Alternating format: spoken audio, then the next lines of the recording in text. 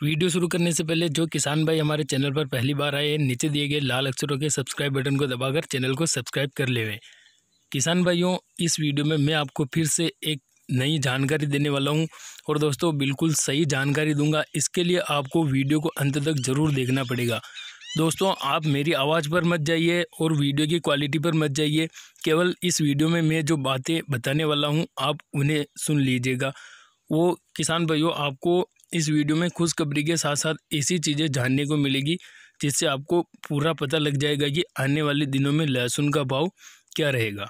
अब दोस्तों, बात की जाए लहसुन के भाव की तो लहसुन का भाव वर्तमान में भी काफ़ी अच्छा मिल रहा है। और अब बात करें ज्योतिष शास्त्र के आधार पर लहसुन का भाव क्या रहेगा तो दोस्तों, आने वाले कुछ दिनों में लहसुन का भाव काफ़ी हद तक बढ़ेगा। और दोस्तों किसान भाई, अभी बहुत हड़बड़ाहट कर रहे हैं क्योंकि लॉकडाउन लगने की स्थिति आ रही है तो किसान भाई ये सोच रहे हैं कि हमारी फ़सल की बिक्री बाद में नहीं हो पाएगी अगर लॉकडाउन लग जाएगा तो। परंतु किसान भाइयों, ऐसा बिल्कुल नहीं है। सरकार किसान, किसानों के लिए कुछ न कुछ अलग व्यवस्था ज़रूर करेगी, परंतु किसानों की फ़सलों की बिक्री ज़रूर करवाएगी। दोस्तों, वीडियो को अंत तक ज़रूर देखना ताकि आपको एक स्टेप बाय स्टेप जानकारी मिल सके और आपको अनुमान लग सकेगी, लहसुन का भाव कितना बढ़ सकता है। दोस्तों, वीडियो को एक लाइक ज़रूर कर दीजिएगा और चैनल को सब्सक्राइब ज़रूर कर दीजिएगा। चलिए वीडियो की शुरुआत कर दिए दोस्तों ज्योतिष शास्त्र और कुछ आंकड़ों के आधार पर हमने अनुमान लगाया है कि आने वाले कुछ दिनों में लहसुन का भाव बढ़ सकता है, क्योंकि पिछले कुछ दिन में लहसुन के भाव में हमें तेज़ी देखने को मिली है, परंतु अभी होली के अवकाश के कारण कुछ दिन तक मंडियाँ बंद थी। उसके हिसाब से जब मंडियाँ खुली तो एकदम से अचानक ज़्यादा होके हुई लहसुन की। उस हिसाब से लहसुन में दो तीन दिन, केवल दो तीन दिन थोड़ी बहुत मंदी देखने को मिली, लेकिन फिर से लहसुन के भाव में तेज़ी का रुख आया और लहसुन में तेज़ी फिर से आई। तो दोस्तों, इस हिसाब से हम यह अनुमान लगा सकते हैं कि आने वाले दिनों में लहसुन के भाव में काफ़ी हद तक इजाफा होगा और लहसुन की डिमांड इस साल बहुत ज़्यादा है।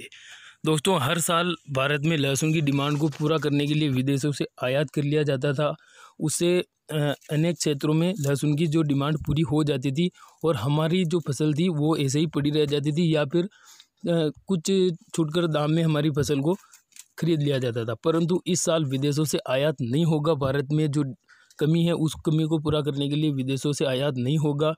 और उस कमी को पूरा करने के लिए हमारी जो लहसुन की फ़सल है, उस फ़सल को खरीद कर ही भारत में पूर्ति की जाएगी।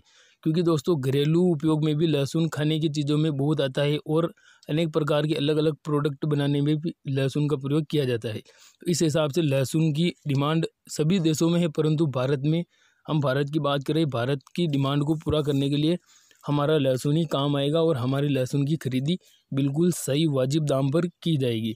तो दोस्तों ज्योतिष शास्त्र यह कहता है कि अगर लहसुन की पैदावार कम हो, हुई होती है अगर लहसुन की हम आ, किसान भाइयों की पैदावार कम हुई है तो स्वाभाविक है लहसुन का भाव बढ़ेगा ही।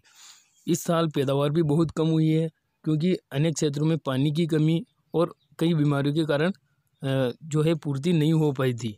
तो दोस्तों इस हिसाब से भी लहसुन के भाव में काफ़ी तेज़ी देखने को मिलेगी और अनुमान के आधार पर लहसुन का भाव पंद्रह हज़ार के पार जाएगा। दोस्तों, उम्मीद करता हूँ वीडियो आपको पसंद आया होगा। पसंद आया तो लाइक, शेयर, कमेंट ज़रूर करें और चैनल को सब्सक्राइब करना ना भूलें। धन्यवाद। जय जवान। जय किसान।